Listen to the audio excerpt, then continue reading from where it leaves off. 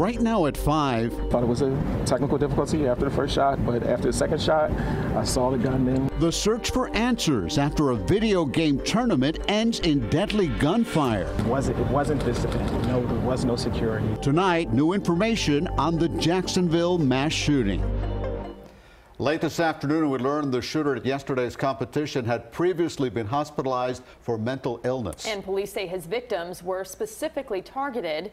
CBS 4's Ted Scouten is live tonight in Jacksonville with new information on the investigation. Ted. Rudaban Eliott, tonight the sheriff is releasing a lot of uh, new details in this case. For example, we now know that he walked into that restaurant carrying two handguns as well as extra ammo and that he bought those guns legally in Maryland, that despite reports from the Associated Press that he had a stint in the hospital for mental illness. My cousin has to bury her firstborn, and it is just as terrible as that sounds. Our family has been forever changed. Nothing will replace the love that we have for Elijah.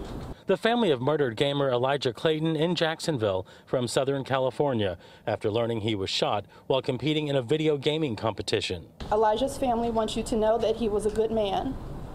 He did not believe in violence. He never even had a fist fight. The mass shooting was caught on streaming video of the competition. Toshiba Sharon was the announcer. He tells a frightening story of how bullets missed him by just inches. Oh, I had um, another another gentleman um, that was actually commentating the game with me was sitting right next to me on my left hand side. He was comment, excuse me, commenting commentating with me and um, he was shot twice in the chest. And I'm and I was I just couldn't believe he was shot because you know he was right next to me. Now we're learning more about the suspected killer, David Katz. Jacksonville Sheriff Mike Williams tells us he was armed with a 45, a 9 millimeter, and extra ammo. Court records also reveal he had been hospitalized in the past for mental illness.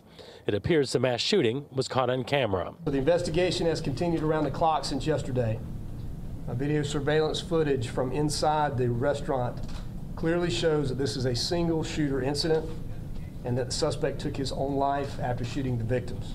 Sheriff Williams also tells us it appears Katz had specific targets. The suspect clearly targeted other gamers who were in the back room of uh, Chicago Pizza participating in this gaming tournament. Uh, the suspect walks, uh, walked, excuse me, past patrons uh, who were in other parts of the business and focused his attention Uh, on the gamers. And tonight, the sheriff still cannot give us a motive, and he cannot confirm statements or address the statements that Katz was angry about being eliminated from that competition. Live in Jacksonville, Ted Scouten, CBS 4 News.